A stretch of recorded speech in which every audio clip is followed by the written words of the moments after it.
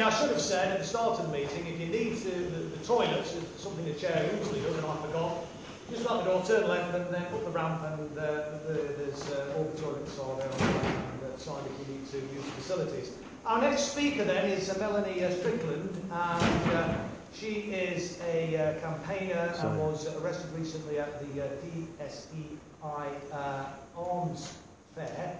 And um, Melanie threw herself under a lorry outside the government, uh, government supported event, uh, which uh, shows some guts, um, but uh, don't put yourself in a situation where to lose you. Know? We don't want to sort of see another Emily Wilding situation where you have activists uh, like you to uh, continue to uh, uh, take the, the message to the powers that be.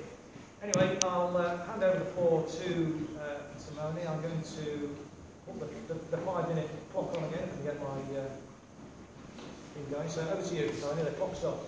Okay, thank you. Um, yeah, that makes it sound a lot more dramatic than, than it actually was.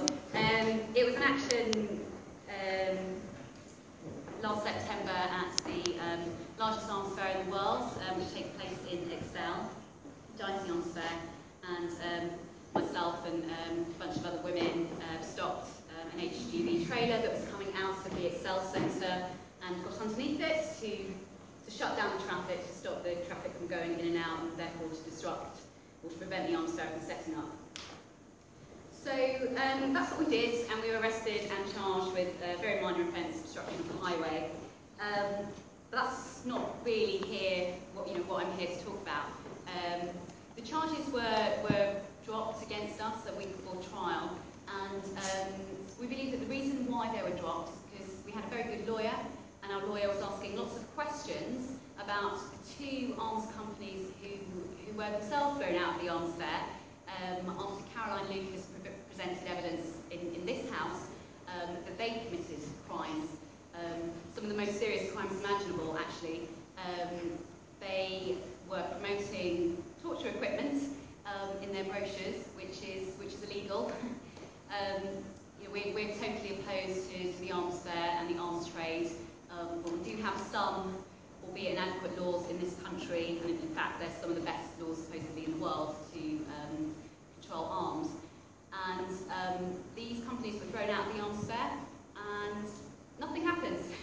nothing at all happens to them. So when the charges were dropped against us, um, myself and, and, and the other defendants um, instructed our lawyer to take a private criminal prosecution against those two arms companies, um, Tianjin, My Way, and Magforce International, um, former, so the latter being a, a quite well-known French company.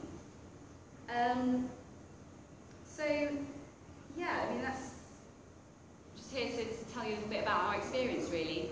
Um, Despite this being extremely high profile, the evidence being presented in par Parliament, um, our lawyer wrote to HMRC, the CPS, ministers, including Cable.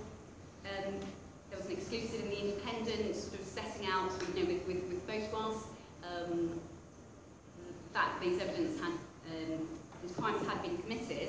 Um, the authorities did precisely zero about this, and um, you know, to this day, they've been totally uncooperative with us. Um, the prosecution is quite groundbreaking. Um, I think it's ever been done before. And we really hope that you'll sort of follow us.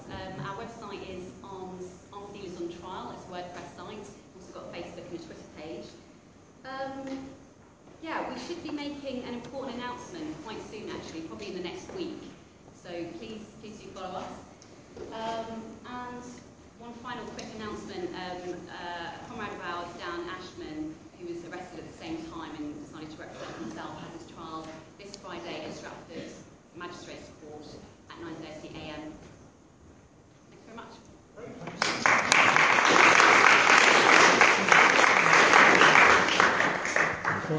Speakers are.